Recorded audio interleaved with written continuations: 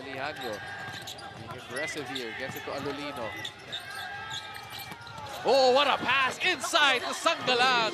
You know, the defense of NLEX was actually looking at the cut of, uh, of Next Wong. we go to their main guy, Robert Bolick, coming into the ball game as well as Sean Anthony.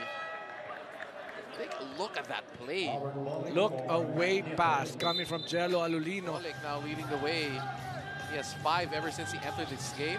What a drop pass to Valdez, and Valdez finishes the layup. So it's a 4 to 0 run on the part of NLEX Road Warriors.